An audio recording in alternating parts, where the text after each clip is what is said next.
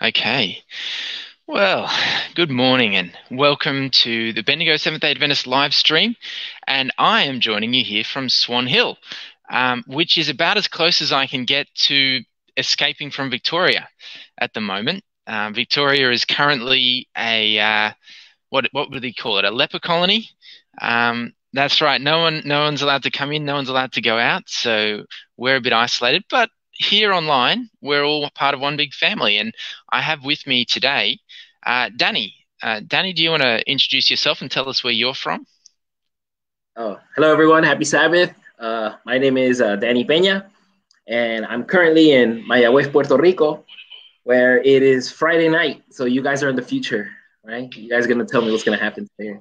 But um, yes, yes, yes. I currently I actually, with Jason, we spent several years in South Korea working as missionary English teachers with SDA. And uh, right now, I am working as an English professor in Antillean Adventist University here in, in Mayagüez. And uh, my BA is in is in theology. And, and I love it. I love it. And it's my pleasure to be here sharing with my brethren from Australia. And yeah, yeah, I'm, I'm really happy, really, really happy. So God bless everyone. Great to be here. Great. It's great to have you, Danny. And um, well, maybe just to begin with, uh, let's have a prayer together, and then I'll ask you to do a bit of a mission story. Maybe that could be uh, your whole life story. I don't know, whatever you want to share, and maybe you can relate to the Sabbath school lesson for this week because we're going to be talking about something a little different uh, for most of the time. But uh, let's let's have a prayer. Our Father in heaven, Lord, thank you that we can be here together, um, even though uh, we're so far apart. Um, I thank you that we can be together in, in voice and on video and in spirit. Lord, I pray that you would bless us, that you would uh, bring us closer to you from the things that we discussed today, and that you would draw us always nearer to Jesus. And I pray this in his name. Amen. Amen. All right, Danny. Well, do you want to do you want to share something with us? Certainly, certainly. Um, well, some people ask me like, why why did you study theology if you never wanted to be a pastor? Well, the thing is that I love theology. fascinates me, especially Adventist theology. It's beautiful, the spirit of prophecy, you know, the lesser light. I mean, like how much more truth can we have? And so um, I wanted to be the actual, actually, I wanted to be the pastor's right hand man at my local church. That was kind of like my, my goal. Or an evangelist, right? Um, and so, uh, but having worked in SDA, we were in South Korea, my wife and I, for 10 years. We got married in 2005. We graduated in 2000, May of 2006. And in uh, September uh, of that year, we were in, in South Korea. So having having that that missionary English teacher experience really shaped my my approach or my view of evangelism because SDA primarily focused on friendship ministry, right? We would teach the students English because first and foremost it was a business and money was exchanged for services. So we would teach English but then on the weekends, we would invite the students to come to conversation clubs and music club. And then Sabbath morning, we had worship and some other um, English, English proficiency classes. But the content was all spiritual. And so I, I saw this method and, and, and I was really taken by it because it's literally friendship ministry. Like how, how do you find out about good things? You, people tell you, be like, oh man, I'm doing this or I'm doing that, or I bought this product and it's working really well for me. And then you try it and then you get hooked, you know? And so it's the same with, you know, ministry and, and evangelism. And I really like the story of the Gadarean, right? Gadareno. Uh, I, am gonna have to apologize, you know, side note, you know, my whole database is in Spanish. So I, I, I translate. So, so if something comes out kind of weird, it's not you, it's me. right? Yeah, Spanish is probably closer to the original Greek than than English is anyway. Um, I think I see Mandla here. Mandla, how you doing? Oh. Hey guys, how you doing? I'm well, thanks hey. very much. Hey Daniel. Hey, hey. Greetings, greetings. Nice to meet Daniel you. Daniel and Daniel today. Woo-hoo. Yes. In Spanish, when somebody has the same name, we say tocayo. Tocayo. So tocayo is that you, mean, tocayo? Yeah, yeah, my tocayo. Or I could just relate to you like tocayo. Ah, okay. so Daniel, um, where are you from? Are you from America or, or Mexico or Spain? I don't know. That's a really good question. Actually, I'm a mutt. I don't know if you guys know what a mutt is, but I'm a, I'm a mixed breed. my mother, my mother is from Mexico, and my father was from the Dominican Republic, and they met in Chicago and they got married there. So I was born and raised in Chicago in a Hispanic church, raised in the American education system, but yeah. having multiple identities. So I would imagine you love to dance, isn't it? Pardon me? I said I would imagine you love to dance. Uh, it's in the blood, you know. It, yeah. exactly. yeah, yeah, yeah. And so, um, so to, to, to so, conclude, uh-huh. yeah. So, Danny, you keep going about your mission, mission story about your your life and ah, mission. Yeah. And so, so yeah. like the Gadareans, um, like my whole experience led me to this one truth that it's our experience. At the end of the day, what people are interested in is what can I tell them about my experience with God? You know, because for me, that's the remedy for the Bible thumping that's the remedy for you know taking spirit of prophecy and using it to to bash people over the head with. It's just tell people what God has done for you. The end. The end. And if I'm in error, if I'm in error, or another person knows more than myself, in love, kindly share what God has done for me and the light that I've I've received. But never am I gonna be like, brother, you're gonna burn in hell if you keep on that. At- no, man, it's my influence. I'm telling people what God did for me, and yeah. So ultimately, I, I really enjoyed this week's lesson because it's pretty much that key point. And then it also touched on if we receive a no, you know, if somebody's just like, "No, nah, I'm not, I'm not interested." Well, it happened to to Mary Magdalene and, and these these ladies. You know, the disciples didn't believe them, believe believe them. So, you know, sometimes we're gonna receive a no, but we just gotta be persistent. And I don't mean in your face Christianity, like, brother, how was your morning worship with the Lord? You know, it's just like, man, I feel good today. Why do you feel good? Man, because I prayed, you know, I prayed last week about the situation, and then this happened. And man, I feel so good because I feel close to God. Oh, and then the other person's gonna be like, oh, okay. But you sowed a seed. And it's the Holy Spirit's work to water and grow that seed. But you did your part. We did our part. We just shared what Christ did for us. And, and yeah, that, that whole experience with, you know, Korea and, you know, my background in, because I come from a relatively conservative background where everything was wrong. Everything was bad. And you know the Sabbath, oh my goodness, guard the fringes of the Sabbath, and it everything. Nah, man, God has really, really opened me up as to what the Sabbath is all about, you know, and what evangelism is about. And so, yeah, so there it is. Amen. Thank you for sharing, Danny. Yeah, or Doya, Doya, was that was that what I'm supposed to call you?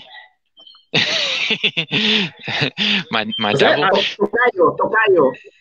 Do, sorry, what was it again? tocayo. Tocayo, tocayo. Okay, tocayo. Tocayo. Tocayo. Okay, I'm learning. I'm Tocayo. learning Spanish, so I'll I'll be able to be, understand the the street signs in heaven. So that'll be good. so, yeah. Um, we've got some comments here. Maybe uh, maybe Jason, who's um, hiding somewhere um, behind the scenes, could you put some of the comments up and we'll we'll read them and uh, say hello to some people. Yeah. Uh, Darren Greaves says, Happy Sabbath from Coral and Darren in the Bendigo Church. I think um, probably quite a lot of people didn't didn't come today because uh, it's been a bit cold, but they're watching online, which is fantastic. Jim says, "Good morning, all. Thanks God for the great rain we had last night." I would like to add to that, Jim. Thank God that I managed to get here through that rain, uh, despite the fact that I on the way up here. It's uh, it's two hours from Bendigo to Swan Hill, and I had a uh, a run in with a hailstorm on the way. So uh, it was threatening to break the windscreen, but it didn't. It didn't. So praise God that we we got here um, just in time to start the stream. Kwame says, "Happy Sabbath." G'day, Kwame. Uh, thank you so much for saying hello. And Alison, good morning and blessed Sabbath all. Yeah, now Alison has the distinction of having been the first person to like this stream. She liked it when I first uh, created it uh, four hours ago or three hours ago, something like that. So, uh, yeah, if you haven't liked it yet, give it a like, and that will help your friends to be able to see what you're doing today. Darren says, Happy Sabbath from Darren and Michelle. G'day, Darren, and hope you had a good holiday. Um, glad you made it through uh, through Melbourne.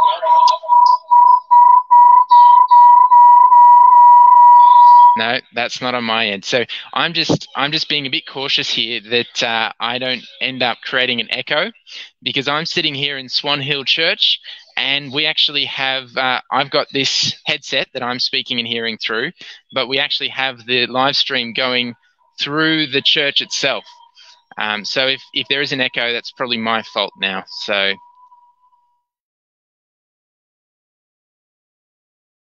It was on my end.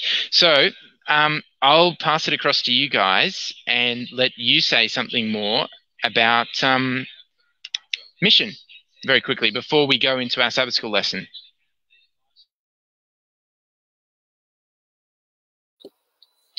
Right. Um, can you hear, can you guys hear me?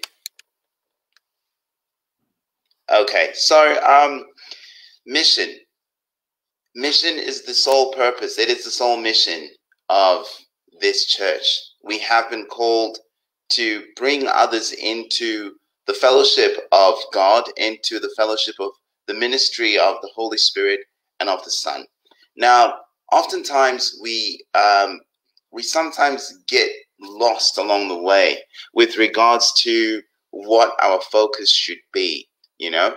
But if we continue to look at the example of Jesus, if we continue to look at the life that he lived, and we understand that it was mission centered.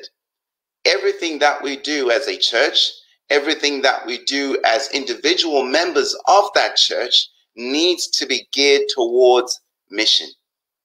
Winning souls, that is our sole and only responsibility. And when we focus on that, everything else will start to make sense. Family life will start to make sense. Marriages will become strong in the church because mission focuses on families. Our societies and our communities will be free of crime, free of drugs, free of anything that might corrupt because mission focuses on a holistic approach of building the individual into a solid disciple for Christ. And so mission definitely it is the lifeblood of our church. Amen. Thank you, Mandla. Um, let's just go into a time of singing now and uh, it's we're going to have a pre-recorded special item but sing along to it. We'll all mute our mics uh, so that we don't get weird things going on. Um, but it's going to be hymn 152 i believe. Tell me the story of jesus. Um, so we'll get that up now.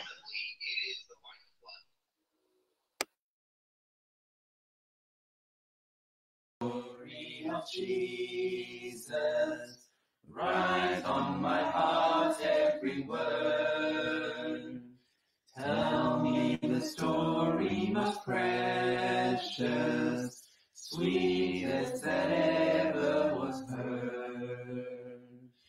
Tell how the angels in chorus sang as they welcomed his birth. To God in the highest, peace and good tidings to earth. Tell me the story of Jesus, write on my heart every word. Tell me the story most precious, sweetest that Tell of the cross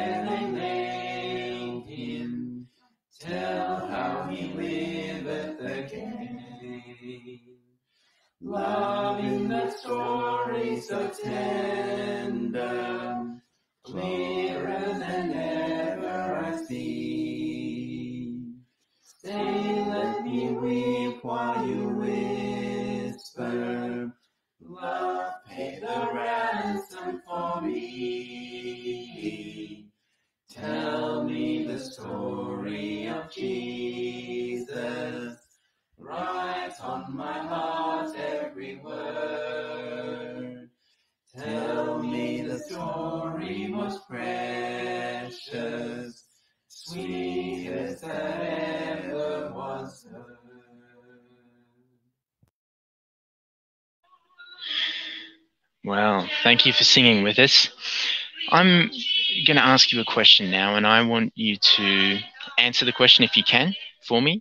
I'm going to put the question up on the screen, and um, it's going to be this one. Let me see how this works. Oh, yep, there it is. So the, the question is How has society changed from 1900 to 2020? How has society changed from 1900 to 2020?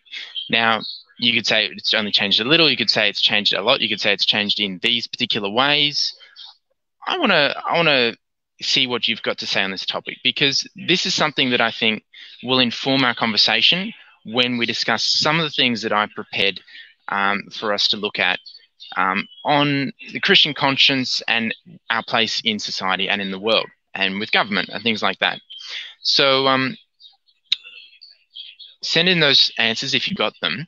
But I'm going to turn first of all to the Bible and we'll just look at Proverbs 24, verse 11. So if you got your Bibles, turn with me to Proverbs 24, verse 11. Now, you might be surprised to think of Proverbs as a place where we would talk about conscience. Isn't isn't Proverbs all about being smart? But Proverbs has a lot of moral teaching to give us as well. Um, and Proverbs 24, verse 11, the Bible reads, Deliver those who are drawn toward death and hold back those stumbling to the slaughter. So the Bible's teaching us here that it's not just good enough uh, for us to say, well, you know, it wasn't my business that that person was suffering or that person was uh, was dying. It's our business to go and to try to help that person. Now, the first application of that, of course, is like what we were talking about, right? Mission, reaching people for Jesus, bringing people to Jesus. But I think there might be more to it than that. What do you guys think?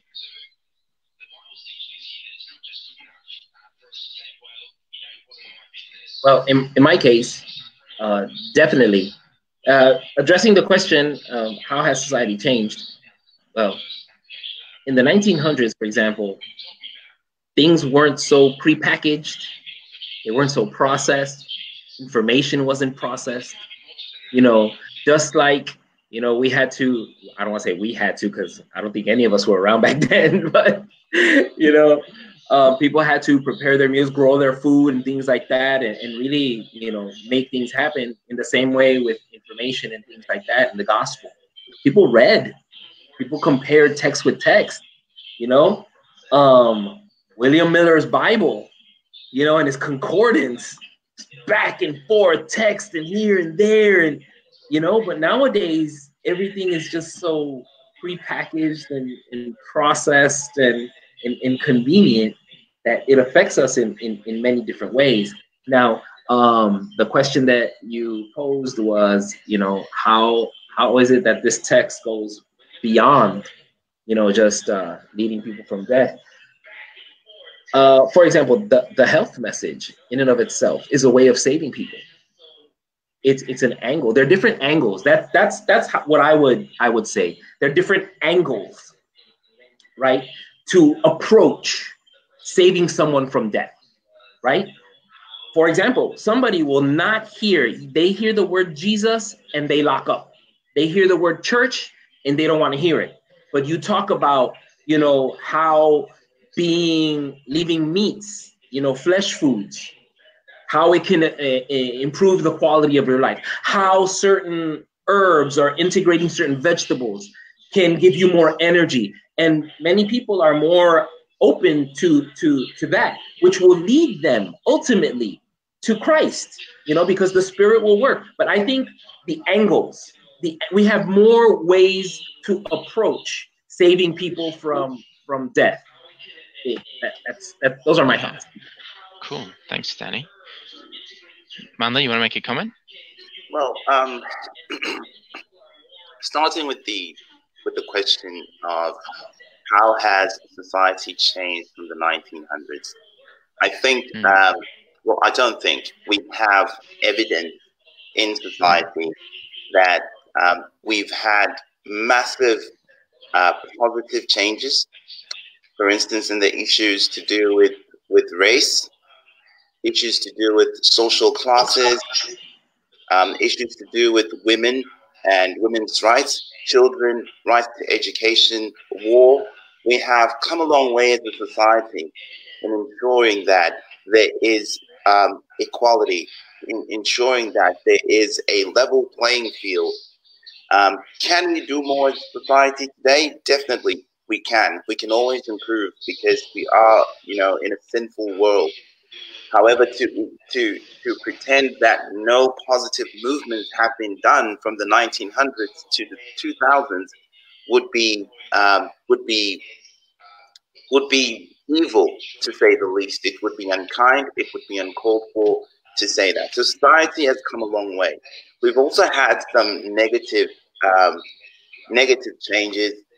It all depends with how you look at it. Um, technology has progressed you know, to extent where information is readily available. And that is a positive and that is a negative in and of itself.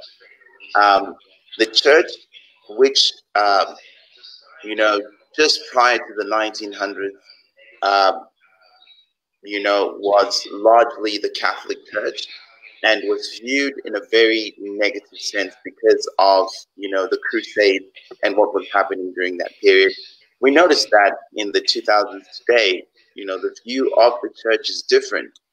We also noticed that people were more spiritual back then. It was easier to approach people with the concept and the ideas of a deity, of a divine being, a divine intelligence that created than it is now. People are more um, inclined to believe, uh, or rather to not believe. They believe that there is nothing, which is believing in itself but people believe that there is nothing. So there, are positive and negative changes that have happened in society.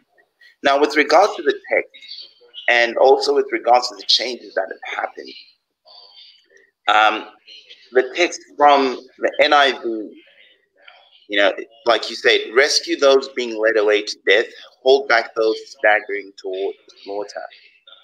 It's an active verse.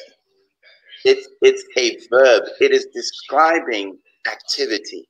This is something that we must do. We, we should not be on the sidelines watching whilst those who are going to death, probably unjustly so, those who are going to death, and we just watch and comment on the sidelines and do nothing about it. You know, God is expecting us to be actively involved in our communities in ensuring fairness in ensuring justice, in ensuring judgment um, to all people, regardless of whether you're rich or you're poor, whether you are uh, good or you're bad, in quote, the Lord wants us to stand up for what is just and what is good. Amen.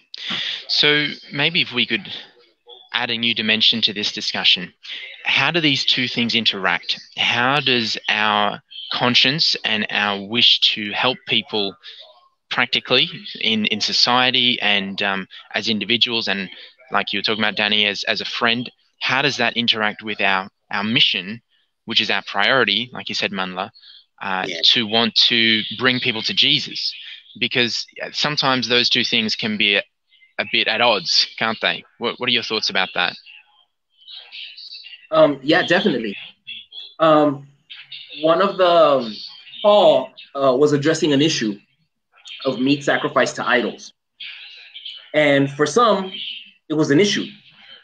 But for those that had a greater understanding, they it, it, it wasn't an issue.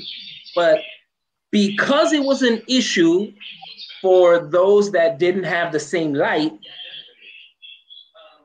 the more mature Christians, so to speak, they were just like, okay, if you think it's bad, then I'll I'll refrain from it, even though I know there's nothing wrong with it. But you know what? For your salvation's sake, I'll do it. You know, and you know, Hmm. when we when we are trying to benefit our communities. Okay. I have a friend uh, on Facebook. He he he's said to be an Adventist historian and he's been off of Facebook for a long time, but he's gotten on recently and he's posted things like Black Lives Matter is it has a Marxist agenda and you know the people behind it have a specific agenda and but, but I, I don't I don't see it like that at all. I grew up, you know, in the hood, so to speak. I grew up you know i'm a minority in the in the us i'm a minority you know and so black folk hispanics we're in the same boat you know and our histories you know they're intertwined you know Yeah. I'm, I'm half dominican which means i'm half black and and a portion a portion european and a portion you know native dominican i'm also part mexican so I, there's a so it's like we're all in the same boat and so what i see in society is i see people mistreated. I don't care how you want to spin it. I see black people being harassed and stopped by police. Videos, I see videos. They are not resisting. They are standing with their hands behind their backs, and police come and body slam them. Police come and put their their their forearm or their knee on their necks and stuff like that. I don't care. I don't I don't see videos of and, and forgive if I'm not politically correct. I don't see white folks having those problems. In my upbringing, I didn't if I had a white friend, I felt safer than if I was with my with my friends, which were usually Hispanic and black folk. And you know, and, and we would take certain precautions and we wouldn't go in certain places because we knew police would were more prone to stop us. So so for me, for me, I don't know if I've gone off topic. No. Black Black Lives Matter. You know, okay, yes, I remember how why I got on this tangent because Yeah. my friend is saying that if you're kind of a friend to Black Lives Matter, you're kind of subscribing to this Marxist agenda, and but but it's like no, I want to help my brethren, even though I'm not going through this. You know, if I see injustice, I'm gonna try to speak out. I'm gonna record. I'm gonna be like, officer, please. You know, I'm gonna try to intervene because that's my brother, that's my sister, and um, and so in doing so, I believe that I am being like Christ. I am doing, you know, His work, and I am trying to help out, and I am trying to show, you know, God's love for humanity by trying to help my brother, my brethren. And so, um, yeah, conscience. My conscience moves me to do that. Mm. I can't sit Yeah. idly by and be like, well, if I speak out, then I'm gonna get hit. So let me just hang back. Nah, man. If I see it, if I see somebody harassing, actually, you want to know something, Stan? I've already prepped myself. That if I'm speaking Spanish in the states, like when I visit Chicago with my family, I've already prepped myself that if somebody harasses me for speaking Spanish, what I'm gonna do? I'm gonna start singing. You know, Almighty for no, no.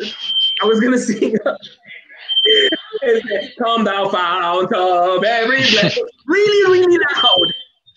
You know, because you know, I don't want to engage. I don't want to be involved in that. And you know, to my heart to sing like yes, my conscience drives to act, to intervene, to help my brother. And um, as long as I'm, as long as I can stand before God in my personal worship and have nothing to be ashamed about, I'm good. I'm good. You know, and if I'm wrong, God's going to be sure to let me know. I don't know if I addressed the question. If I,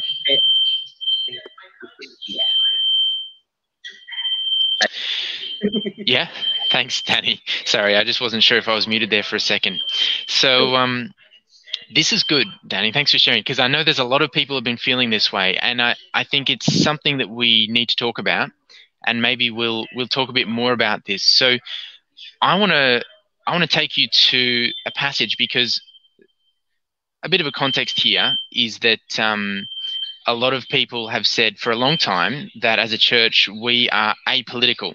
We we don't get involved in politics, and one of the reasons for that was because of the Civil War. Right in the American Civil War, uh, the Adventists didn't didn't fight in that in that war. Right, but I want to show you a, a, a, section in First Testimonies, first volume of the Testimonies, um, page 363, and it actually explains the reason why they weren't involved in the war because it might surprise you, right? Let me, I'll read it for you. So it's in the first volume of the Testimonies by, by Ellen White, uh, page 363. If there were union in the Northern Army, this rebellion would soon cease Rebels know they have sympathizers all through the Northern Army. The pages of history are growing darker and still darker. Loyal men who have had no sympathy with the rebellion or with slavery, which has caused it, have been imposed upon. Their influence has helped place in authority men to whose principles they were opposed. So, what Ellen White is saying is that the reason that they didn't want to get involved in the war was not because they didn't believe in the cause. They did believe in the cause and they were willing to, to help fund the war, which they did. Uh, but what they were not willing to do was to put their lives of their young men at risk because Ellen White knew, and I don't know how she knew this. I don't know if this was generally known. I assume it wasn't. Um, but we know now from history that this was true. Ellen White knew that the generals in the Union Army, that is the North, the side that was supposed to be against slavery, many of them were actually sympathetic with the South and they wanted the South to win. Or not necessarily to win a clean victory, but at least to get a negotiated peace so that slavery could be preserved and then and the Union could also be preserved. That was actually what most of the generals in the North wanted. We now know that um, from history. So the issue wasn't with the cause, the issue was with the vehicle which the cause was being promulgated through. And it wasn't until the declaration of what was it called the universal emancipation maybe uh, danny you can you're maybe more familiar with with that mm-hmm. sorry emancipation proclamation emancipation proclamation that's the one it wasn't until that that ellen white said now we now we completely support the war and what's being what's happening. And it was soon after that that the war was won. So perhaps God also supported it from that point onwards as well. So I just wanted to raise this because I think it's a, it's a good example of how we've misunderstood our past and why we've been keeping out of certain things, and it's ended up causing us to learn the wrong lessons from history. Uh, yeah. For example, during the Second World War um, in Germany, the Seventh day Adventist church leadership in Germany did the same as almost every other church, and they went along with Hitler, you know, and obviously that's inexcusable. Obviously, you know, it doesn't, you don't have to be very smart to, to get that, right? And yet they did it because they said we were just staying out of politics. We were just, we didn't want our ministry to be compromised um, by our point of view that was not not acceptable. And so it's we really have to take it more seriously than just say, well, we'll just stay out of the whole thing. But I do think there's that lesson that Ellen White has that even if there is a good cause, a worthy cause, you've got to be really careful tying yourself to the reputation and the actions of a movement that is for a good cause even if that cause is abolishing slavery, even if that cause eh, is, is for example, abolishing alcohol, which was a cause that Ellen White herself came very close to actually becoming associated with. She was a major speaker for the temperance movement. But when she spoke, she was always pointing people to God and pointing people to their relationship with God and their need for honoring God in their lives. She wasn't saying, she wasn't talking about legislation.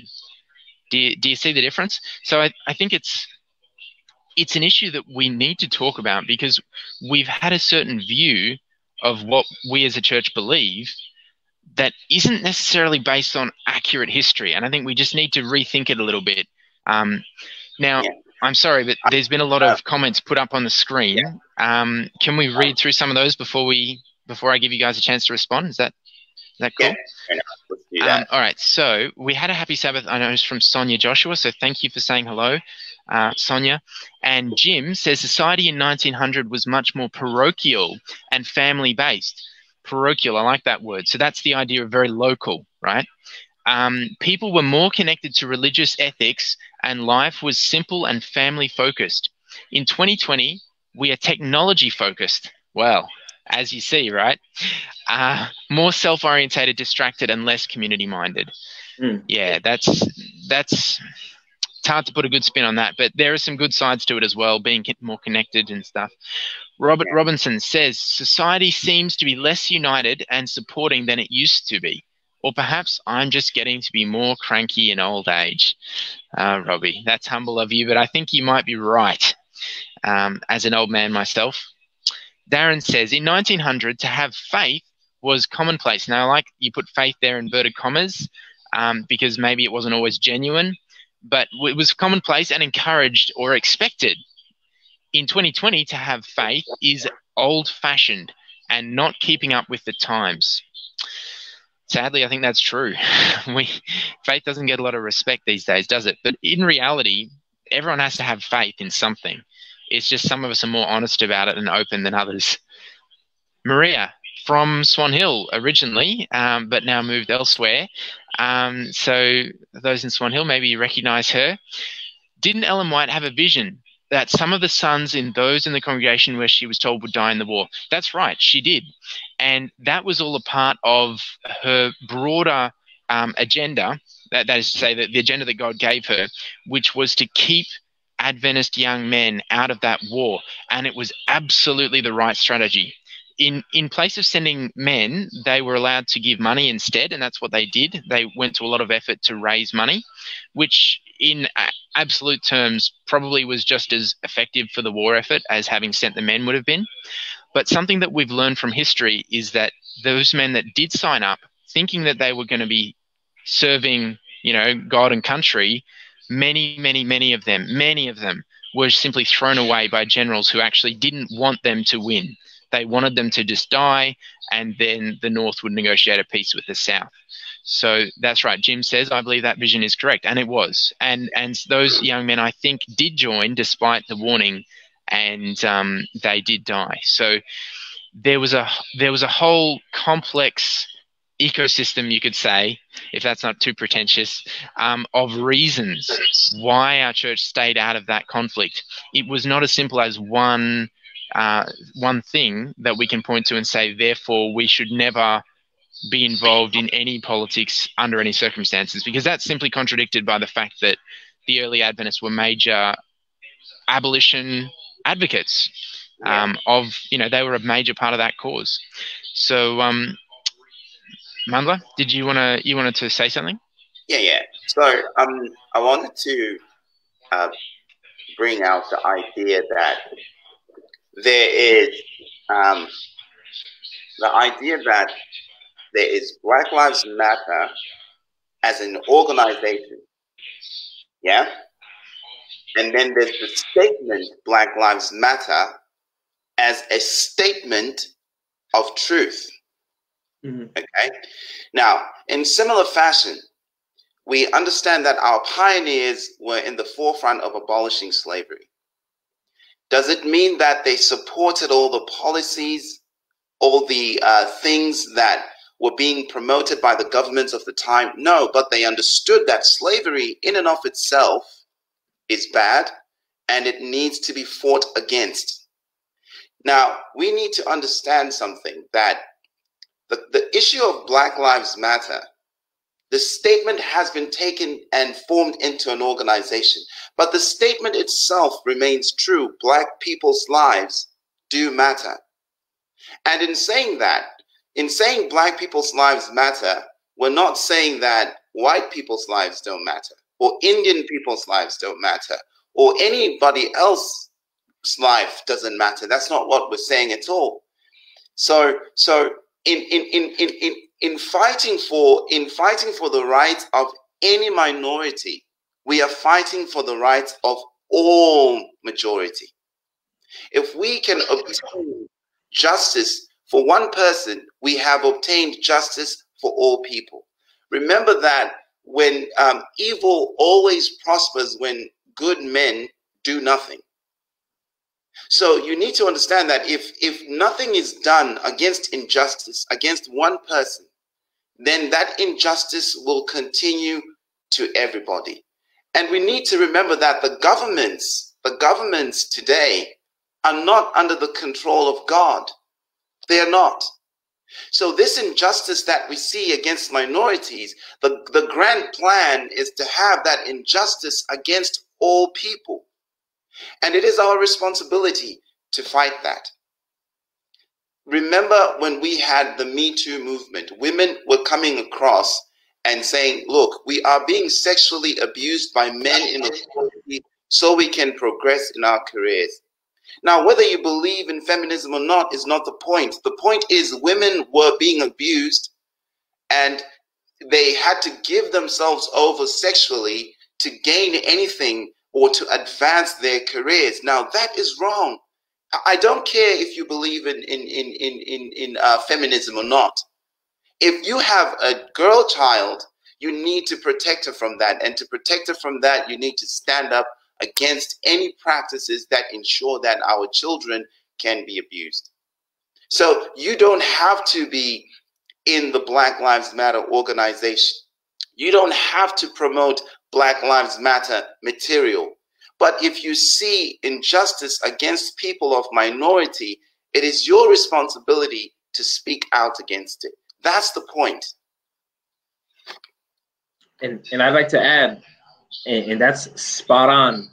And one of the issues that we have today, and you touched on it, is that oh, by saying that Black Lives Matter, we're we're, we're saying that all lives don't matter, and and that's not that's not the message.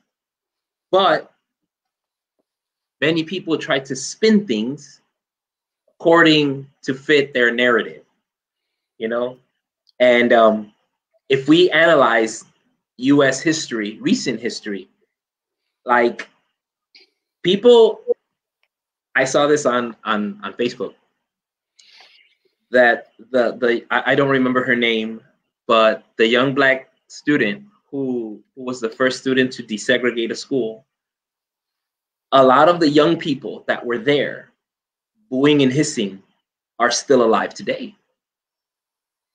So that that that view or that idea or concept that people of a different color are less still exists among society. And I don't I don't want to get too deep into this pool, but the laws of the land to an extent favor a specific group. And so, but what I really like what Mandla said, the distinction between Black Lives Matter, that these people need our support and need our intervention because, you know, they're being they're being killed versus what it's evolved and become. Black Lives Matter as a movement with an agenda making demands. So I think it, it, we need to be very clear that I must help my brother. At the end of the day, I must help my brother. I must help my sister because that's what Christ did. Shave away everything, pull everything off. And what is the core? Love for one another. Love because my God is love. And those that love know God. Those that don't love don't know God because God is love. So love needs to push me and drive me to, to speak out for, for, for the for the widow. for the what, what, were the examples that Jesus used? La, la viuda. Yes, the the anyway, these people that were marginalized by society, the Bible, Old Testament clearly states you gotta speak up for those people. Now, what's changed from then to now? That the orphan can be understood, or or the the the widow can be understood to be those that are marginalized by society. So we gotta help them out. We gotta look out for them. And yeah, I just wanted to add that to Mandla because it was spot on. Thanks, Danny. So uh, we got a comment from Jim as well, along maybe a similar line. He says, "I believe our church is too silent on many of these social justice issues. Our silence is as good as supporting those unjust practices." Now, this actually brings me to another quote that I wanted to read for you, and I haven't got an actual physical book with this quote in it, but I, I found it on the internet, and um, it's quite a famous quote in our church because it's the one that's used uh, against this the most. Let me just put up the quote for you. Um, so that's the reference. Now I'm just going to read a short section from from that from that bigger section, and this is how it goes. We cannot with safety vote for political parties, for we do not know who we are voting for.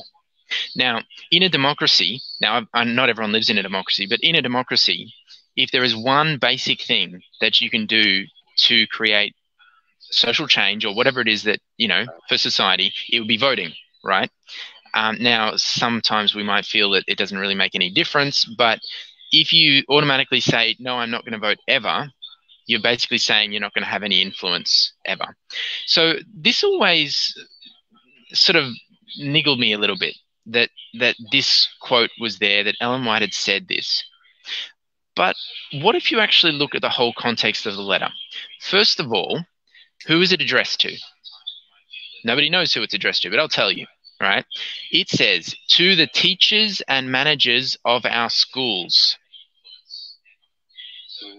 So is this addressed to everybody?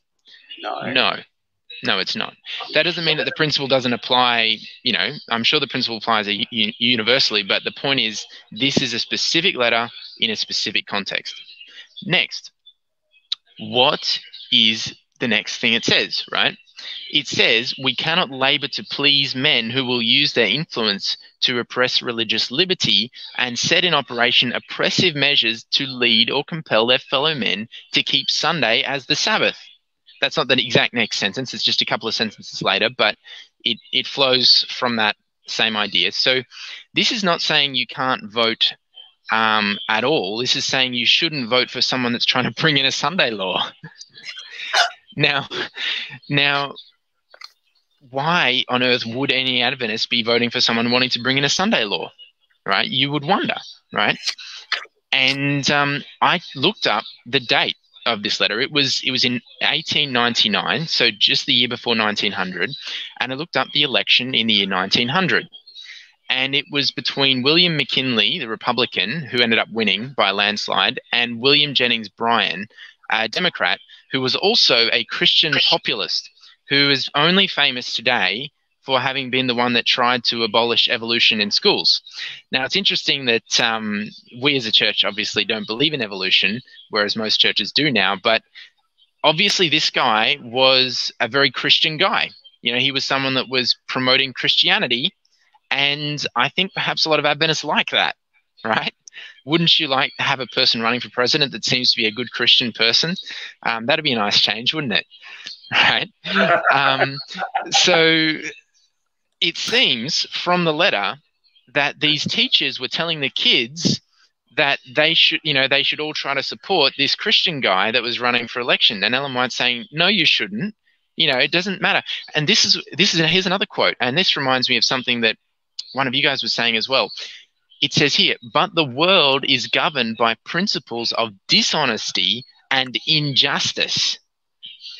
So, what Ellen White's saying is that even a Christian president or whatever is still going to be governing from principles of dishonesty and injustice. Now, that's not to say that we can't try to make things better. Ellen White herself did that, right? With the abolition of slavery and um, the attempt to uh, abolish alcohol and so on. But the point is, we can't trust someone, no matter how good they may seem, if they are saying that what they're going to do is something that's clearly against religious freedom, right? It, there's you can't vote for someone that's like, oh, this person's going to make Christianity great again or something, you know? Well, make America great again, fine, but don't don't you tell me you're going to make you know bring religion back because that's exactly the kind of thing that we are trying to avoid, right? And and Ellen White is actually being a political activist here, isn't she? She's actually saying we shouldn't support someone that's promoting a certain kind of idea. Now, back in 1900, like like we were saying, it everybody more or less was Christian, right? So it it, it made sense politically to push Christianity as an agenda, right? But today, that's obviously not the case. But maybe it'll change. Who knows, right? We don't, we don't know what we don't know what the future holds. It's very easy to to look in our little narrow slice of what we've experienced and think that it represents the whole of of what will happen in history. But no, you know, revivals happen, things change, and I I pray and I hope there will be a revival, and may we be part of that revival. May we not separate ourselves away from that revival because we think, oh, but we don't. That's that's political. You know, we don't want to be involved in that. Who cares? But we've got to remember that we retain our own identity, we retain our own independence, that we're not going to be dominated by some other group, no matter how good they may seem, that we sell ourselves and our beliefs out. Mm. And and Dan, um, I think we also need to uh, both you, Dan, actually, and everyone else watching. I think we need to understand that um, it is our responsibility to resist the spread and infestation of evil. It is our responsibility. Imagine if someone was passing the Sunday law. It is our responsibility. Ellen White says we ought to resist it until the last breath. We should not be, you know, we should not be a people who are quick to accept laws that will hinder the spread of the gospel. But like Jim said, in, in, in, in our silence, we support those very laws. So we, we, we cannot be silent. And this is not just about and this is not just about racism, it's about everything. We, we cannot be silent about everything because when we become silent, we are giving the devil a foothold. And by doing that, we are making our own work of mission harder. Mm-hmm. Yeah, and and adding to that, I, am piggybacking on a lot of your ideas, Mandla. um, it, it, it brings it, you know, it boils it down to when I walk with Christ, I cannot be silent.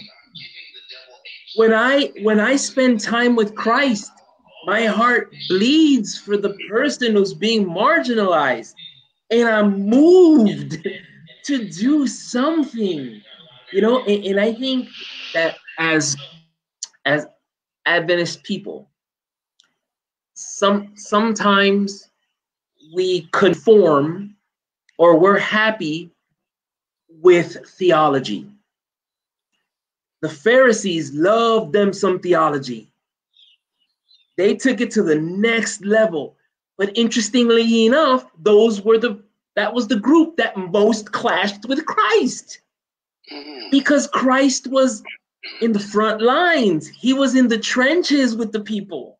He was lifting up the people. He was showing true love, true interest. He wasn't judging from a distance.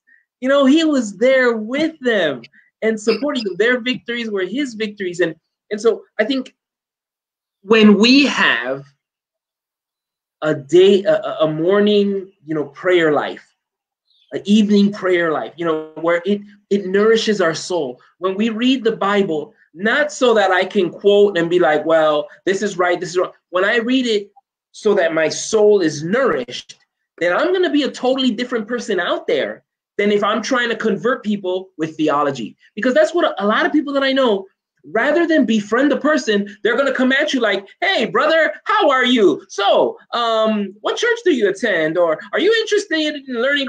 No, ask that person what their name is. Ask them, you know, how can I help you? You know, like I'm I'm with this church and we're trying to impact our community. We're trying to get to know our neighbors, and so we're doing a small survey of our needs. We're doing a needs analysis, and we want to know if you have any needs that we might be able to help you with you know? And so so what you got? Do you, do you need help around the house? Do you, yeah, you know, actually I, I got laid off and and you know we're a little short on food. It's like, all right, All right, you need some food. Okay, okay. Well, we have this, you know, this mission is called ADRA, and you know, so I want you to come by on this day, or if you can't come, I'll bring it to you, and, and then and then we can talk a little bit. Then, how does that sound? Is that cool? All right, Ramon. Thanks. I'll I'll, I'll contact you on this day at this time. I didn't say anything about the Bible. I was addressing my brother's needs. Now, in the next conversation, you can bet that I'm gonna I'm gonna stick something in there, and I'm gonna be like, so yeah, you know, we got this program where people donate and this and this and that, and and you know, we just love helping our community, and I'm, and and then from there, the more meetings you have, the more you meet with that person, conversations just gonna lead you to why are you doing this, man? I'll be like, because Christ did this for me. And that opens the door to sharing your experience, man. Where you can be like, man, I was in this situation and, and a person actually found me and they brought me some food. And so I'm a firm believer in this type of mission work. And and I just want to do for you what Christ did for me, brother. On the release. That's that's what I have. And the person's gonna be like, wow, man. And over time, you're gonna establish a rapport, you're gonna establish a friendship, and then you make the invitation, brother. I want to invite you to my church, man. You know, I, yeah. I think you're really gonna enjoy it. You know, there are a lot of people like this, and you know, I'll pick you up. How about that? Is that cool? Uh, I don't know. Uh, look, look. Have I have I mistreated you in any way? No, not at all. Right? Well, imagine meeting a bunch of me's at a place. Do you think that would be cool? Yeah, I think that would be cool. All right, man. I'll pick you up and, and we'll roll. And then that's evangelism. Be exciting. Before before you speak, allow me to just say one thing because I feel it needs to be said. Who are the marginalized? Because oftentimes when we're talking about this issue, people think that, oh, we're just talking about black people. Oh, black people suck. But we need to understand that the marginalized are not just minority races. The disabled mm-hmm. are marginalized. Women are marginalized. Children are marginalized. The poor are marginalized. Old people are marginalized and it's it's all these people that we are having to fight for we could we could we could easily say women's lives matter we could easily say disabled people matter. Would you then say ah yeah but able-bodied people matter too. It's it's ridiculous. So we're looking at we're looking at it from that perspective that if we can stand up for and and like you say uh, daniel if we can show love if we can show kindness if we can stand up and like what the comments are showing as well if we can stand up if we can speak and we can show support to the people who are downtrodden and oppressed in our societies our societies become safe places the church becomes a safe place and when the church becomes a safe place it becomes a place where people can run to for support.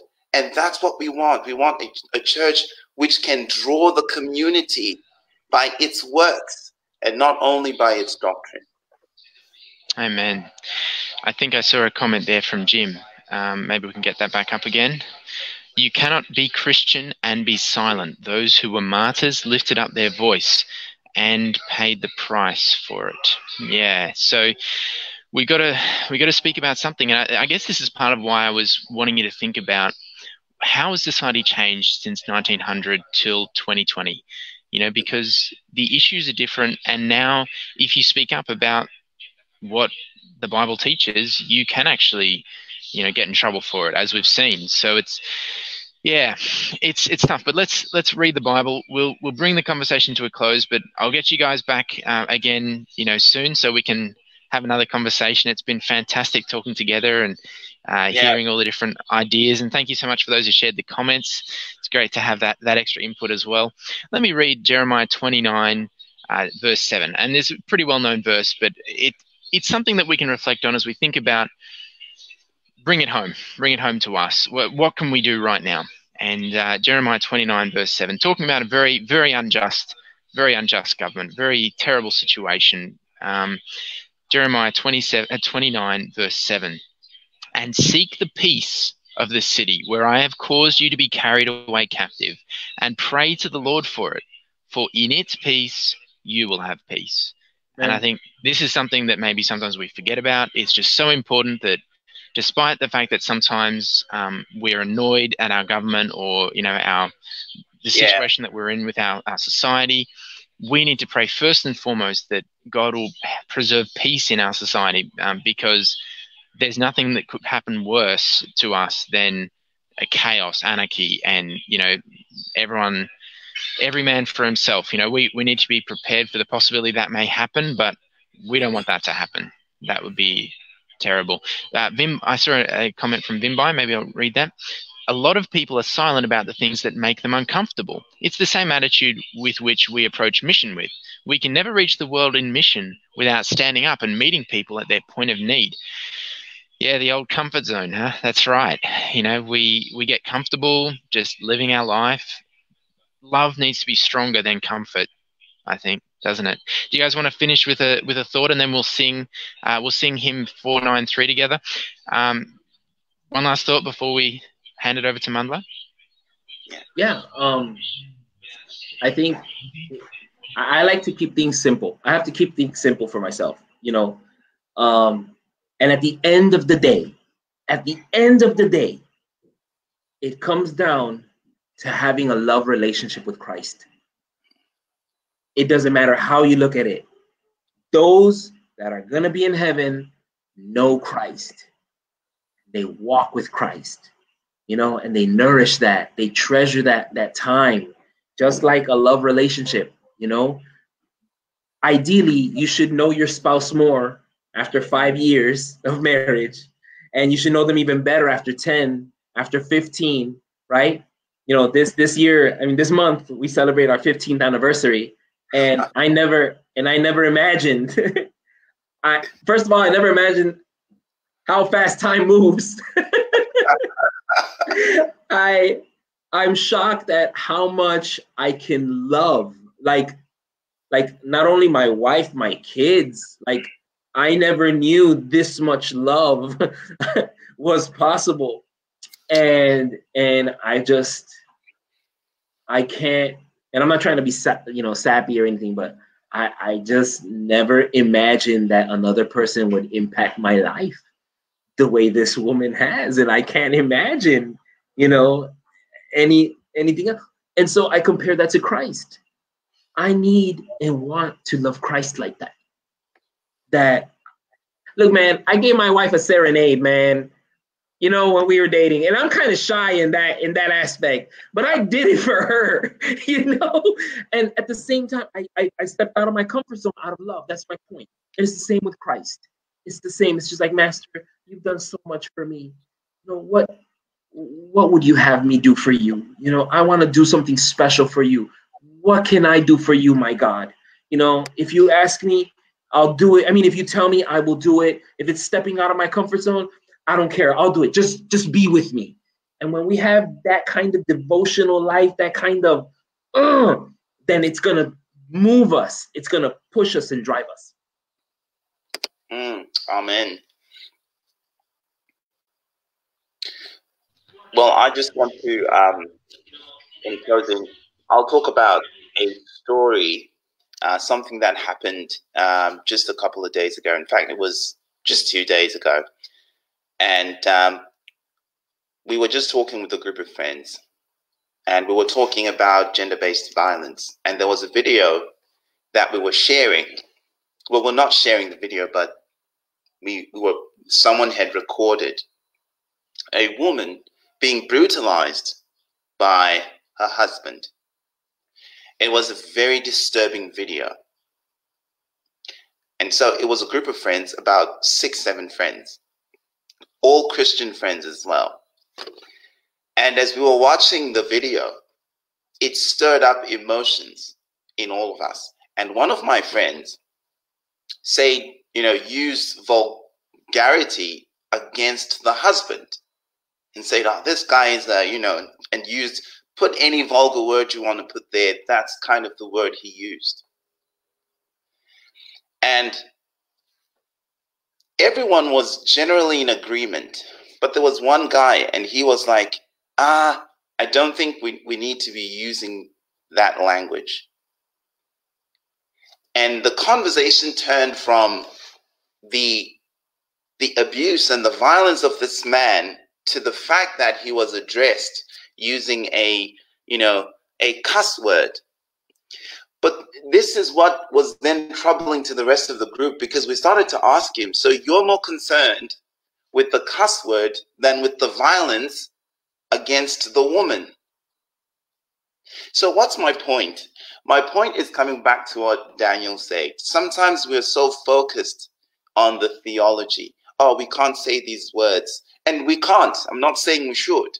We can't say these words. We can't do this. We can't do that. We can't do that. But when big things are happening which affect society, we are quiet. We all should have been really uh, uh, worried about the woman and trying to find ways to help her if we knew her. But no, we ended up focusing on the fact that a cuss word was used as a response to that particular video. So, this is what I'm challenging Christians today to think about. Whilst we focus on the little things of the gospel, Jesus says that you tithe salt and mint, and it's good to tithe those things, but you have forgotten the weightier things of the law mercy, love, kindness, judgment. So, as we do the little things of the law, let's not forget the weightier things of the law. Amen. Let's not be the kind of people who get so upset when someone comes to church late. But we are comfortable in our silence when the government is corrupt. So let's be a balanced people. That's all that I'm trying to say. Amen. Thanks, Mandla. And maybe, maybe Danny, you can say a prayer for us and for Mandla as he's going to speak. And after you've finished, um, we'll sing uh, the hymn 493.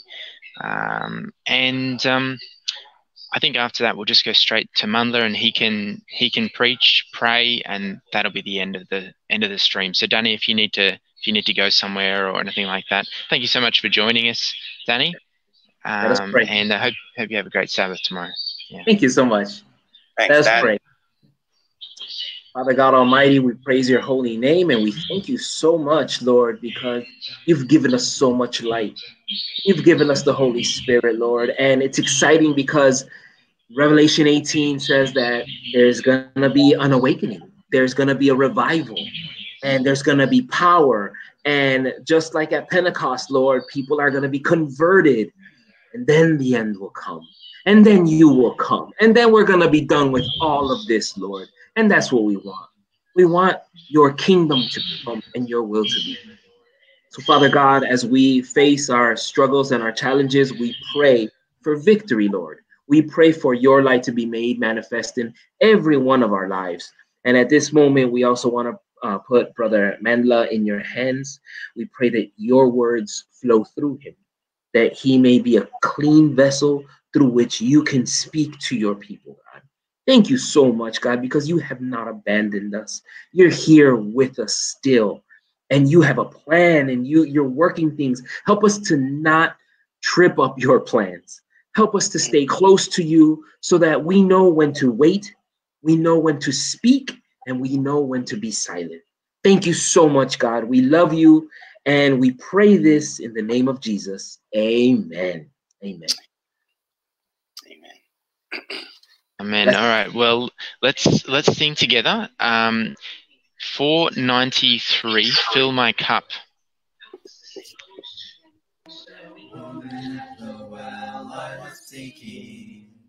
For things that could not satisfy. And then I heard my Savior speaking, Draw from my well and never will run dry. Fill my cup, Lord, I lift it up, Lord. Come and quench this thirsting of my soul. Bread of heaven, feed me till I want no more. Fill my cup, fill it up and make it whole. There are millions in this world who are craving the pleasure earthly things afford. But none can match the wondrous treasure that I find in Jesus Christ my Lord. Fill my cup, Lord. Fill my cup. I lift it up, Lord. I lift it up. Come and quench this thirsting of my soul. Bread of heaven, feed me till I want no more. Fill my cup, fill it up and make me whole.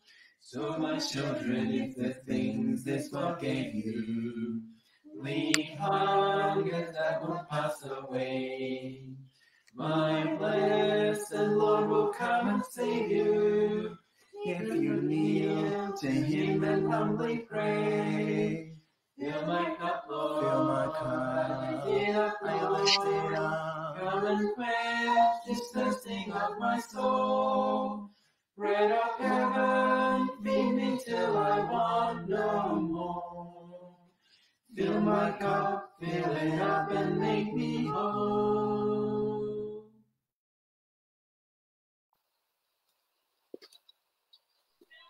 Over to you, brother. Thank you very much, Dan. Thank you very much. Um, just allow me to open my page. All right, my laptop page. All right, we'll just have to work it out as we go. Um, happy Sabbath and good morning, church. Thank you very much for uh, tuning in wherever you're from, um, Australia, United States. I know we've had a couple of people watching us from as far as uh, Indonesia, Jamaica, and I want to welcome all of you um, to um, this live um, show. Uh, before I continue, we did have a few comments that I just wanted to read as well. One was from Kwame. He says, Matthew 7:12, the golden rule. If we can all practice that, do unto others as you would have them do unto you. Thank you very much for that. Now, going into the sermon of the day, the title of the sermon is A Voice in a Time of, of Trouble. And today I'll be talking about Micah. So please, if you have your Bibles, I will share a couple of the texts. I hope that you'll be able to keep up. Now, talking about Micah, Micah was a prophet from Moresheth, a little town in the southern parts of Judah. And Micah prophesied during the reign of Kings Jotham, his son Ahaz, and King Hezekiah. According to the biblical account, we understand that King Jotham, if you read from 2 Kings chapter 15, verses 34, he did that which was right in the sight of the Lord. The king Jotham was a king who did what God wanted him to do. He obeyed the commandments of God. He lived uprightly. He encouraged the people to follow the commandments of God. However, the Bible states he did not remove the high places, and people continued to sacrifice and burn incense in the high places. So we understand that during the reign of King Jotham, the people were kind of worshiping God and kind of worshiping the heathen gods as well. People were kind of into Jehovah and kind of into Baal. People were kind of going to the temple, but still going to the olive gardens to worship the stars and the moon. This slackness, it continued to kindle the flames of apostasy in the people. And at the reign of King Jotham's son, who was King Ahaz, Israel totally backslid into the darkness of spiritual, social, and political darkness. There was nothing that was holding the people back except for the king. And when the king changed from King Jotham, a good king that feared God, that obeyed God, to King Ahaz, his son, who cared not for what God did, but walked in the ways of the kings of the land. When the kingship changed from one political system that feared God to another political system that did not fear God, the people backslid totally into a darkness that was both spiritual, social, and lastly, it was political. In 2 Kings 16, verses 3, we learn that King Ahaz did not walk in the way of the Lord, but rather he walked in the way of the corrupt kings of Israel. Some of the things he did, he made child sacrifices according to the abominations of the heathens. He took his own children and sacrificed them in the fires of Moloch. He sacrificed and burnt incense on the high places, on the hills, and under every green tree. This was the nature of King Ahaz. It was during this great apostasy of God's people that God raised the prophets Isaiah and Micah. You see, Isaiah and Micah prophesied round about the same time. Isaiah prophesied during the reigns of King Uzziah, um, Ahaz, Jotham, and Hezekiah. And Micah prophesied during the reigns of King Ahaz, Jotham, and Hezekiah. Isaiah was a prophet of high office in the politics of Israel. He was a high ranking official in government. And Micah was a mere civilian in a small town south of Judah. Now, the people during this time had been so swept away with evil and spiritual apostasy had given birth to social injustice. The social injustice was so repulsive and it was utterly reprehensible. In righteous anger, God said of Israel in Isaiah chapter 1, verses 4, the Lord says, Oh, you sinful nation, a people laden with iniquity, a seed of evildoers, children that are corrupt. This was the nature of society during the apostasy of King Ahaz. Israel had become politically corrupt, socially corrupt, spiritually corrupt. The family structure had been torn down. God said of this people, they are a sinful nation. There was not one who was good.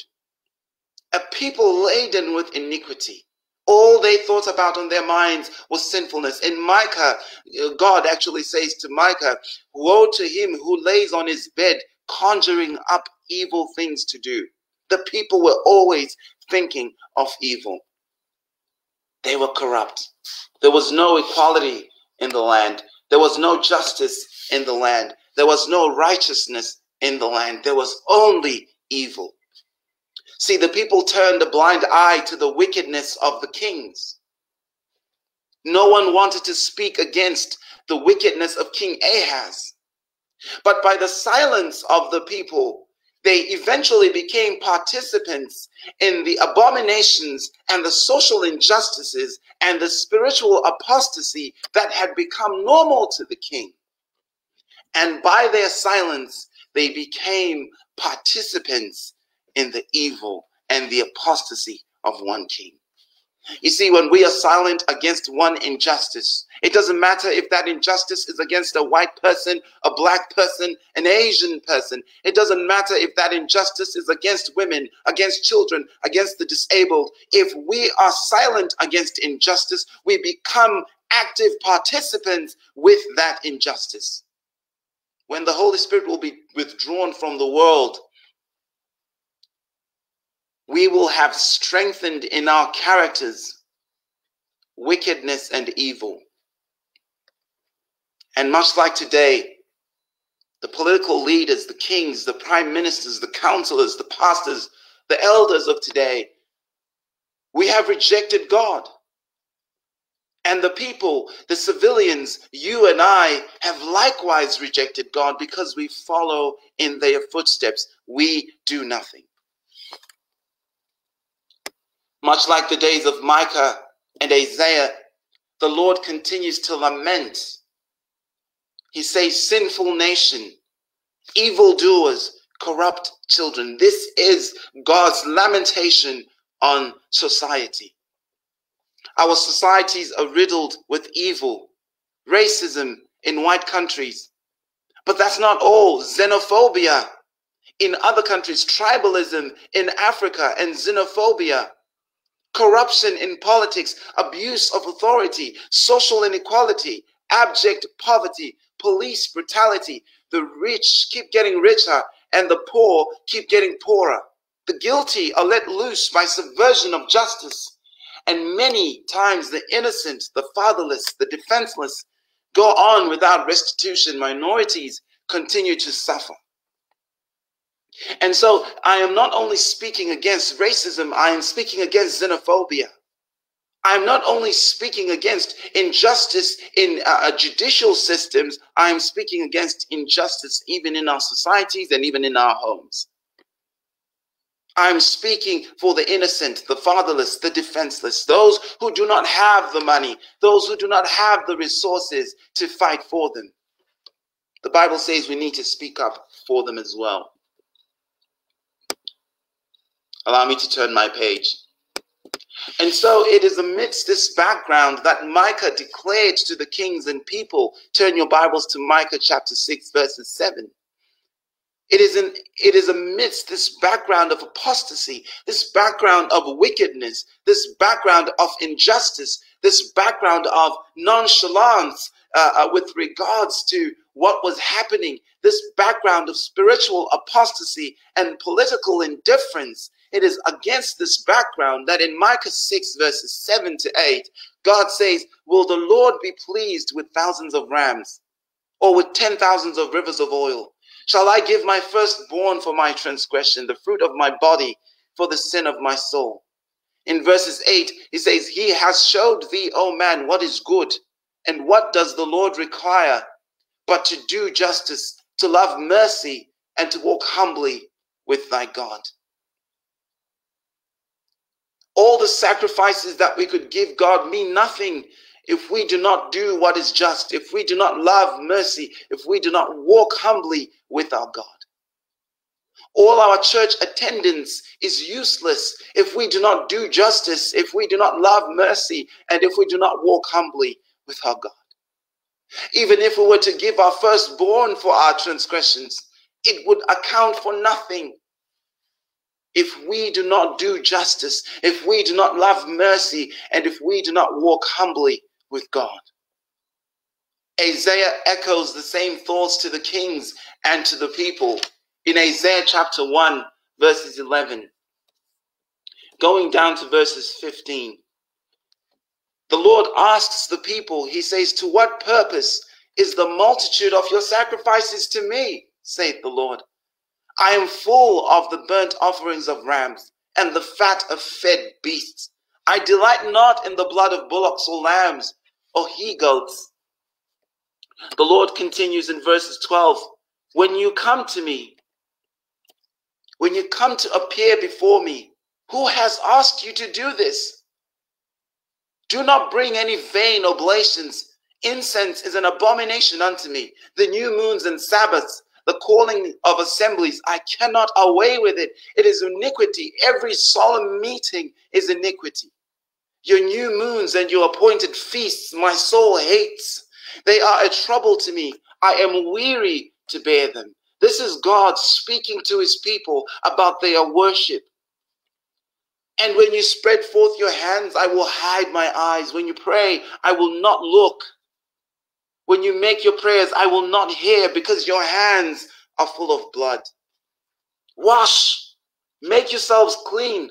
Put away the evil of your doings from before mine eyes and cease to do evil. And this is what God would have us do. Verses 17, it says, Learn to do well, seek justice, relieve the oppressed, judge the fatherless, and plead for the widow.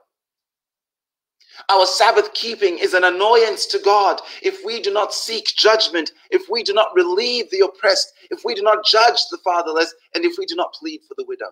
Our tithes and offerings are an abomination to God because our hands are full of blood. And how are our hands full of blood? Because we keep silence when blood is being spilt. We do nothing when we see injustice. We are content to hide in our homes, to hide in our churches, and do nothing. But God says, learn to do well, seek judgment, actively seek judgment, relieve the oppressed, judge the fatherless, and plead for the widow. Our church going is useless if the fatherless, the oppressed, and the widow find no one to plead their cause.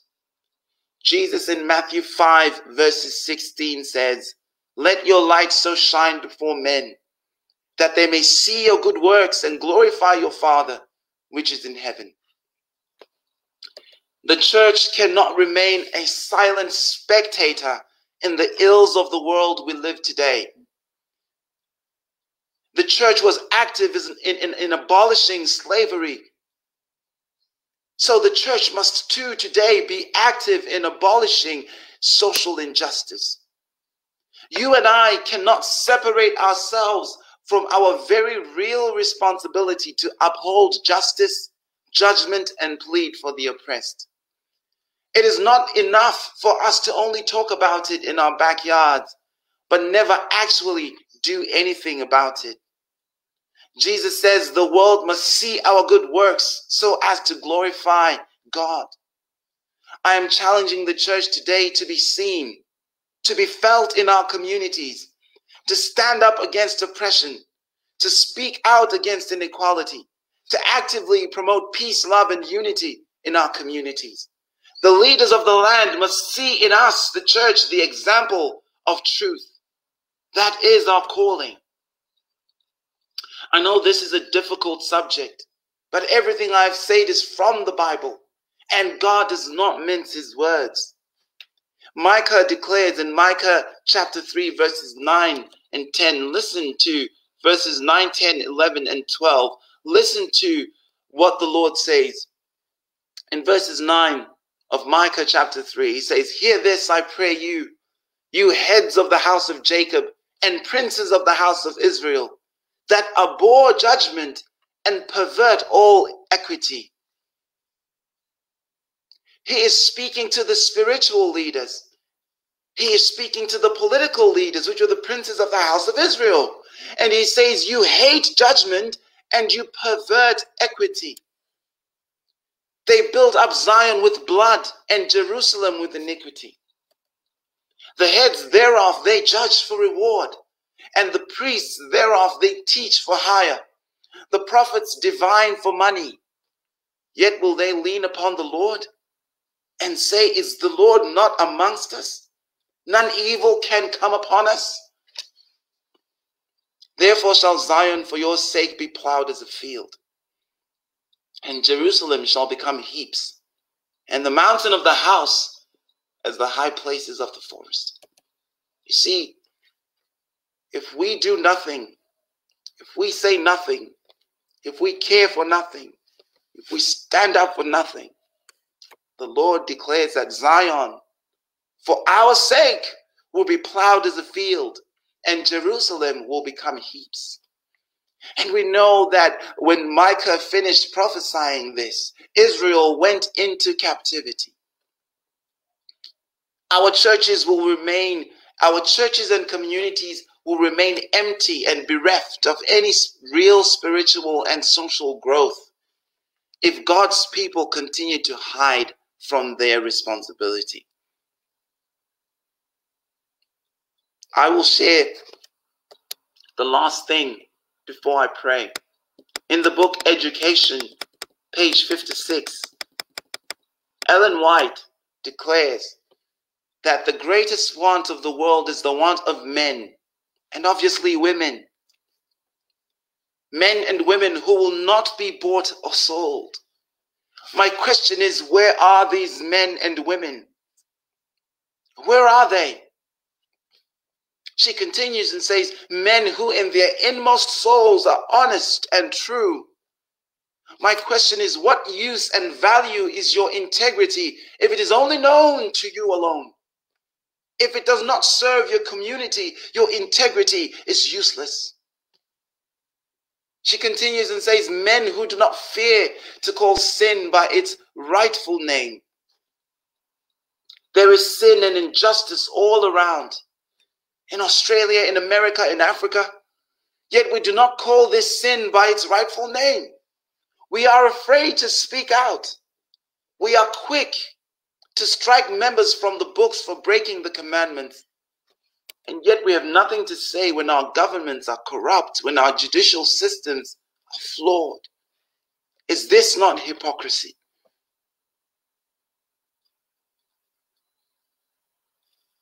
She continues and says, Men whose conscience is as true to duty as the needle to the pole. Are we true to our duty? Our duty is to be a light, yet we are so obscure. that we go on without anybody not noticing. In Bendigo, the community does not even know we exist because we are obscure. She continues and say, men who will stand for the right, though the heavens may fall. Will we fight for the right? Are we fighting for the right? Because this is our calling, church. This is who we are called to be. To stand up for the right, to fight for the right, though the heavens may fall. And throughout the Bible, Isaiah died for speaking against social injustice. Zechariah, Micah, Jesus says they killed the prophets because the prophets showed them their sins. Even Jesus died for pointing out the sins of the people, the sins of the nation. John the Baptist died for pointing out the sin of King Herod. Jesus says, Whoever is to follow me must take up their cross. I'm not saying we are to be irresponsible. No. I'm not saying we are to sacrifice our lives irresponsibly. No. God does not. God does not delight in irresponsibility. What I am saying is we do have a responsibility to be a true light and to stand up against injustice, to hold the Bible as our guide and to live according to it, and to encourage others to live according to it, and to encourage policymakers to live according to it. That is my calling. That is your calling. May God bless you. Let us pray. Heavenly Father, we thank you today because we understand and we know, Father, that you love justice, you love judgment, you love equity, you love mercy and kindness and goodness. And you loved us so much, Father, that you gave Jesus, your Son, to die on the cross for us. And you're asking us today, Father, that if we love you, we ought to give our comfort. We ought to sacrifice our comfort zones and work together with you in showing the world what the true gospel is and in calling many to you. Help us, Father, to not be afraid. Help us, Father, to speak out. Help us, Father, to stand up for those who cannot stand up for themselves. Thank you, Lord. Amen. Thank you, church. Uh, thank you for listening. And I hope God blesses you. And um, yeah, enjoy your week. And God bless.